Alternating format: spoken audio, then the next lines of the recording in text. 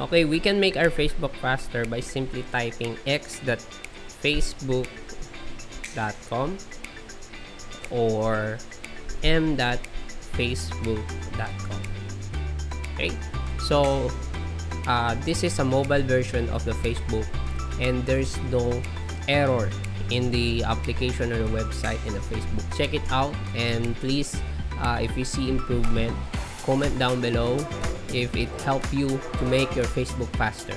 If you find this video helpful, share it to your friends and family.